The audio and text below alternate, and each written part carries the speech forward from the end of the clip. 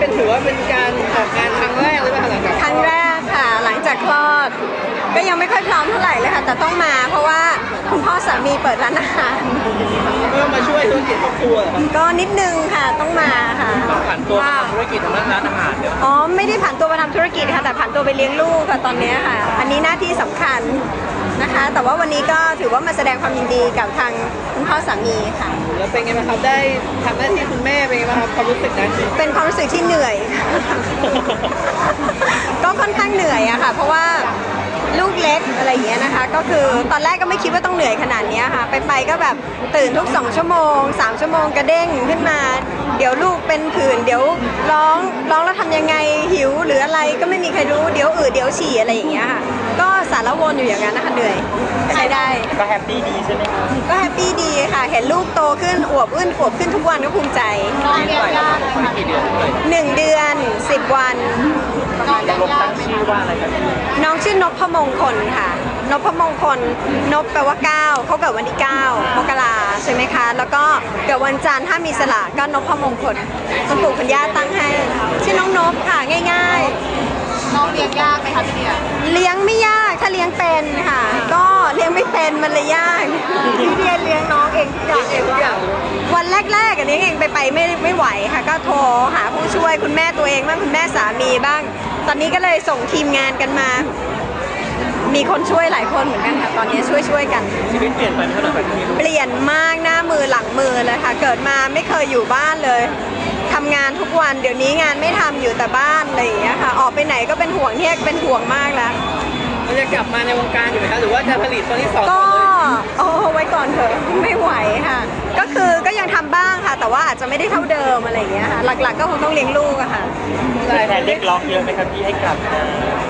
หลายคนก็ถามเมื่อไหร่จะกลับมาจัดรายการอีก คิดถึงอย่างงู้นอย่างนี้ไปไหนก็เจอทุกวันนะคะ ชื่นใจมากเพิ่งรู้ว่าเออคนชอบดูรายการเราเยอะเหมือนกันอะไรอย่างคือเงี้ตอยนนี้ต้องรอรีดน้ำหนักก่อนตอนนี้เหรอคะหลักๆ ไอ้ที่น้ำหนักคงไม่ใช่สำคัญคือเลี้ยงลูกอะไรอย่างเงี้ยค่ะที่เหลือก็แล้วแต่วาระและโอกาสละวางกัน แผนอีกสักกี่ปีนะครับพี่ถึงจะให้น้องเมื่อไหร่ถึงจะกลับมา อ๋อไม่อะค่ะ จริง ๆ แล้วเนี่ยก็สามารถทำงานได้เรื่อยๆอะนะคะ เพียงแต่ว่าดูความเหมาะสมเท่านั้นเองค่ะว่าถ้าไม่กระทบกระเทือนครอบครัวไม่กระทบกระเทือนลูกอะไรอย่างเงี้ยพอที่จะมีแก่จิตแก่ใจไปไหนได้บ้างแล้วทำให้เต็มที่ได้ไม่เดือดร้อนคนจ้างเนี่ยก็โอเค แต่คนอยากเจอแบบพร้อมลูกอะไรอย่างเงี้ยครับไม่ไม่พร้อมหรือไงครับพอยังไม่แข็งเลยนะปัดนาวเนี่ย ยังกระดอกกระแดกกระดอกกระแดกอยู่เลยอะไรอย่างเงี้ยค่ะสงสารลูกค่ะ เอาไปไหนมาเดี๋ยวเจอคนอย่างเงี้ยรับรอง กลับบ้านผื่นขึ้น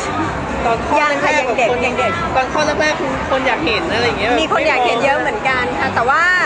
เจ็บแผลแล้วก็เหนื่อยด้วยแผลผ่าตัดอะไรอย่างเงี้ยค่ะ ก็เลยคิดว่าอย่าพึ่งดีกว่าไว้พร้อมค่อยๆค่อยๆเอามาเจอพี่ๆน้องสมบูรณ์แข็งแรงนี่ไหม ๆจะพูดแข็งแรงดีค่ะ แรงเยอะเตะต่อยกระจัดกระจาย เป็นไงบ้างอ่าคุณเราพ่อว่า คุณพ่อช่วยเลี้ยงคุณพ่อช่วยเลี้ยงค่ะแต่หลักๆก็แม่เนี่ยแหละค่ะ ใครเหอะรู้มากกว่ากันระหว่างพ่อกับแม่เขาก็วางไปในด้านวางอนาคตอะไรอย่างเงี้ยนะคะ วางอนาคตจะพาลูกไปเล่นนั้นๆขับรถอย่างนี้เรียนอย่างนู้นอย่างนี้อะไรของเขา ส่วนตัวเองก็เอาแต่ละวันให้รอดก่อน ตื่นละสองชั่วโมงเดี๋ยวต้องตื่นแล้วมาปั๊มนมอะไรแบบเนี้ยค่ะ เอาแต่ละวันให้รอดก่อนแล้วเอาพาไปหาหมอนี่เป็นอะไรเอาฉีดวัคซีนอะไรแบบเนี้ยค่ะมีแววเป็นนักการเมืองหรือว่านักแสดงมากกว่ากันตอนนี้มีแววหิวอย่างเดียวเลยนะกินหิวนมตลอดเวลาอย่างอื่นคงเล็กเกินไปอะค่ะ เดือนสิบ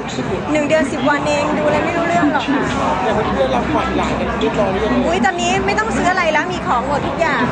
เสื้อผ้าของเล่นยันขวบสองขวบมีหมดแล้วค่ะตอนนี้ แต่ว่าได้อีกเรื่อยๆนะคะถ้าจะมีมาเป็นเป็นตุ้งเป็นตังอะไรอย่างงี้ก็ดีพ่อแม่ชอบ แล้วคุณปู่คุณตาคุณยายมีรับผ่อนหนักไหมครับก็ไม่ได้ไม่ได้ไม่ได้ไม่ได้ชัดเจนอะไรขนาดนั้นแต่ทุกคนก็ช่วยกันดูแลค่ะ